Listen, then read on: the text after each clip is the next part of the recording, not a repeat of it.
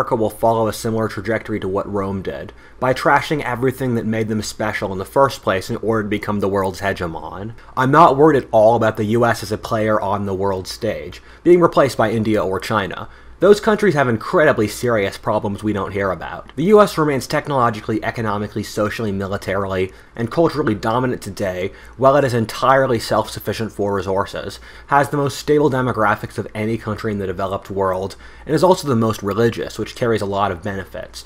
America could very easily rule the world for the next 500 years. Nations are held together by common blood, shared goals, shared enemies, and shared political systems. Rome became a giant multi-ethnic empire, lost its religion, defeated all its enemies, and became an authoritarian socialist state. One third of Americans are non-religious, we've defeated the Indians, Nazis, or Soviets, and we are becoming less and less of a functioning democracy Keep hearing these days that the USA is the new Rome and that we see signs of the decline of the Roman Empire now in the United States. Rampant corruption, a dissolving, polarized society, incapable rulers, and so on, the list is long.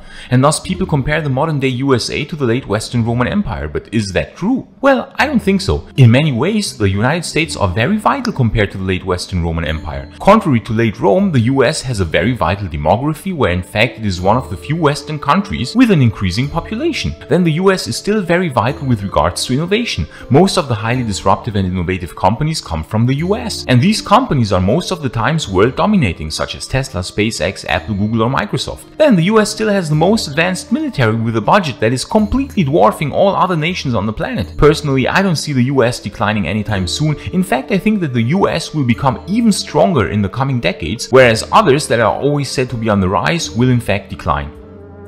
Prophetically, America is a fulfillment of the revived Roman Empire, or is part of the revived Roman Empire, America, NATO, and the EU. But we look at America as spiritual Rome, spiritual Sodom, spiritual Egypt. Excuse me, spiritual Egypt. All praise to Yahweh, Bahashem, Yahweh Shai, double honor to the apostles and elders of Great Millstone. And this lesson will be entitled, America is spiritually Rome. And when you go and you look all over the different places in America, you see Roman columns, the architecture of Rome, the A-frames on the houses. Like I said, the columns, Look at the sports, the games, right? So many other things that show you that this is Rome all over again, which really in reality, Rome never left. You see? Rome never left, and that's pursuing the prophecy. This place is Rome. Now, these people keep talking about America, the new Rome, but it's still part of the Roman Empire that never left. Because first you had, you know, you had the uh, Babylonians, the Persians, and the Medes. Right? You had the Babylonian Empire, the, per the Medo-Persian Empire, the Greek Empire, then the Roman Empire came into power. Right? And it never went out of power. Even when you go here to, uh, and let's, let's also bring up another window. When you go to the book of Daniel, chapter 2, you see in the king's dream, right? Let's read a little bit of it. Daniel 2.31. Thou, O king, sawest, and behold, a great image. This great image, whose brightness was excellent, stood before thee, and the form thereof was terrible. The image's head was of fine gold, his breast and his arms of silver, his belly and his thighs of brass, his legs of iron, his feet part of iron and part of clay. See, that's the whole image, the statue. And oftentimes you'll see it. Let's see here. We can get it uh, Daniel's uh, statue. Let's see if we can get it here. Yeah, here we go. You see that statue, that image, and even the uh, even the even the uh, scientists and uh, uh, historians and stuff know of this image. You see that head of gold was Babylon, chest and arms of silver, kingdom of Medes and Persians, belly and thighs of bronze, kingdom of ancient Greece, legs of iron, kingdom of ancient Rome. And then you had the Dark Ages come in, and then you had the feet of iron and clay, kingdom of restored Rome, which we're in it now. And the crushing rock or the cornerstone is the kingdom of the of the Savior coming on the earth. let's go back. Oh, Salaki, I want to get uh let's go back to the scripts. Hold on here. So when we go back to Daniel, right? It says the verse 34, Daniel 2:34, thou sawest till that a stone was cut out without hands, which smote the image upon his feet that were of iron and clay and break them to pieces. And that stone is Yahweh Shai that's coming to uh to break that that image into pieces. See, and you can say, where are we in that image right now? If you go back to it, if I go back to it, where are we in that image currently? We're in the feet of iron and clay. So what does it say? Restored Rome. That's what it is. It's literally restored the restored Roman Empire, which consists of America, NATO, and the EU. So yeah, America is Rome. This is the capital city of the whole of the whole uh this whole empire. The capital city of all the different empires. No matter where you go. These historians know. Right? Look right here. Same thing. Head made of gold represents King Nebu uh Nebuchadnezzar. Right? Which was what? Babylon. Chest and arms made of silver represented Persia. Belly and thighs made of bronze represented Greece. Legs made of iron represented Roman Empire. Feet made of iron and clay represented divided Roman Empire, which is where we are today. See it? And the rock represented the kingdom of the Savior, which we're currently waiting for to come on the earth now. So we're in that, we're in the feet. We're in the feet right now. That's how we know, you know, pursuing the prophecy where we are. You can see all different kind of images. See? So where are we at?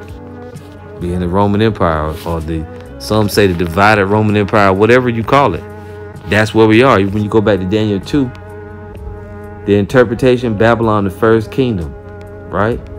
Medo, Medo Persia was the second kingdom, and then you had Greece, the third, and then you have Rome. See? You had that Roman Empire, and after that, there are no more kingdoms, the divine kingdom. So we got to be in that Roman Empire. We're in that divided Roman Empire, or as we say, the uh, revived, or as it's been known as the revived Roman Empire. And we're currently waiting for it to fall. This is Revelation 11 15. And the seventh angel sounded, and there were great voices in heaven saying, The kingdoms of this world are become the kingdoms of our Lord and of his anointed and he shall reign forever and ever. There you go. You see? So we, we're right there now waiting for that kingdom to come. If you go back to Daniel 2.44, right after the Roman Empire, right after Rome, it says, verse 44, the divine kingdom. And in the days of these kings shall the God of heaven set up a kingdom which shall never be destroyed, and the kingdom shall not be left to other people, but it shall break in pieces and consume all these kingdoms, and it shall stand forever. So we're seeing all the prophecies now being fulfilled that coincide with this kingdom or with the uh the last days Roman Empire, right? And when even when you look at these these uh games, so-called games, whoever did this video did excellent work. Cause this shit look just like some Roman shit. That's all these basketball, baseball, football, wrestling, tennis, hockey, all you know, track and field, all that shit is nothing more than a spinoff of the Roman games coming out of the Coliseum. That's why them stadiums look like them damn Coliseums. Or like the Coliseum, because it's the same shit. Showing you this is the same place. This is Rome all over again. Which it again, it never left. We can uh, go out of that. Even when you go back to the book of uh, Maccabees, right in the Apocrypha, going into the Greek Empire, it says Maccabees 1. You know what? Let's actually, uh, Salakia. Here you just see certain um, passages. First, Maccabees 1.14, whereupon they built a place of exercise at Jerusalem according to the customs of the heathen. And as the apostles broke down to us, when you go into that word, the word gym comes from gymnos, which means what? Naked. And that place of exercise is such a place. And so you got all kind of games now, even all the weightlifting and all that stuff. See, it was uh, the Greeks in during this time, but then the Greeks carried over to the Roman Empire, and then we got what we are, what we have today. Even back during the Savior's time, Rome was doing, you know, was persecuting uh, Yahweh and the disciples, those that followed the Lord. If we go there right now, First Maccabees 1.14, it says, And it happened that after it happened after that Alexander, son of Philip the Macedonian, who came out of the land of Chittim, had smitten Darius, king of the Persians and Medes, that he reigned in his stead the first over Greece. So this is during the Greek Empire, right? During the Greek Empire, but then who came up right after them? The Romans, which are their damn relatives. It says right here in uh verse 11, I started 10. And there came out of them a wicked root, Antiochus or Antiochus, surnamed Epiphanes, which was the Edomite, son of Antiochus the king, who had been in hostage at Rome. And he reigned in the hundred and thirty and seventh year of the kingdom of the Greeks. In those days went there out of Israel wicked men, who persuaded many, saying, Let us go and make a covenant with the heathen that are round about us. For since we departed from them, we have had much sorrow. So this device pleased them well, wicked Israelites, making a covenant with these, these heathens, these devils. Then certain of the people were so forward herein that they went to the king who, who gave them license to do after the ordinances of the heathen. Whereupon they built a place of exercise at Jerusalem according to the customs of the heathen and made themselves uncircumcised and forsook the holy covenant and joined themselves to the heathen and were sold to do mischief. You see, just like today.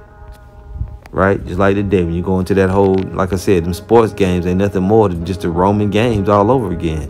That's why when you go there, who you see playing in this shit most of the time, you see Israelites entertaining Edomites up in the stands. Most of the time, you don't see no, the majority of the people that watch those games are not, I'm sorry, I'm talking about in the stadiums the people that are there being entertained are Edomites. They Romans. They come from one of them prospective Roman um, Empire families. You know, going back to the British, the the Italians, the Germans, the French, the Spanish, right? Then you had these American devils over here, which come out of all them different original Roman Empire, uh, Roman, uh, Roman Empire nations. You know, all those that's seven heads and ten horns. That's where they come from, and they are said to be in rulership at the end of the world. Let's go there real quick. Let's go to Second Esdras, if we can, chapter eleven. I believe it's eleven. Chapter eleven. And we're gonna go all the way down here to verse thirty-nine. It says, "Art not." Uh, verse thirty-eight. Hear thou, I will talk with thee. Nope, sorry, 37. And I beheld, and lo, as it were a roaring lion chased out of the wood. Now, this lion is Yahweh Shah. And I saw he sent out a man's voice unto the eagle and said, Who's that eagle? The Roman Empire. And even today you have a spinoff of it, which is who? America, Babylon the Great. Hear thou, I will talk with thee, and the highest shall say unto thee, Art not thou it that remainest of the four beasts whom I made to reign in my world, that the end of their times might come through them. Right, we're in the fourth beast right now. See that? The fourth major empire, which is all the empires were likened unto beasts. And the fourth came and overcame all the beasts that were past, and had power over the world with great fearfulness, and over the whole compass of the earth with much wicked oppression, and so long time dwelt he upon the earth with deceit, which is what? The Roman Empire. You see? the Roman Empire. So it's no wonder that you're seeing all different signs now, you, you know, of uh, this empire falling the same damn way because it is the same place. It's just reincarnated. It's a it's continuation really, but the continuation is it back in the reincarnation from the architecture to some of the customs, and you even have uh, a lots of orgies, a lot of shit going on. The same isn't back in, in, in ancient Rome. And these people gonna make excuses and say this and that or whatever, but you can't last. It's in the Bible that you go down. We're in the fourth empire, and this shit can't last forever. So just a quick video there, you know, just uh wishful thinking on my part, ready to see this bitch fall, man. But like I said, the original thing that sparked it was this video right here. One of the brothers had, I think the brother from Memphis, Jimmy's Memphis Nabar had is short of this. And I saw it and it immediately just uh, sparked a, a um, what's the word? It sparked uh, inspiration. Yeah, inspiration. So that's it. We'll see you again soon with another lesson. Lord willing, all praise to Yahweh by Hashem Yahweh Shai. Shalom.